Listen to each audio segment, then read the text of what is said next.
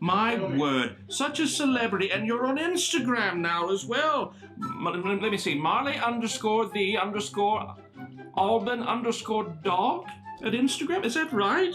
Well, that's lovely. I dare say that's lovely. Well, I want to thank you for allowing me and all of my animal friends to come here to be on your stage. I'm certainly, certainly thrilled and excited about that. And I'm excited about seeing you, of course. And we are excited about seeing you as well.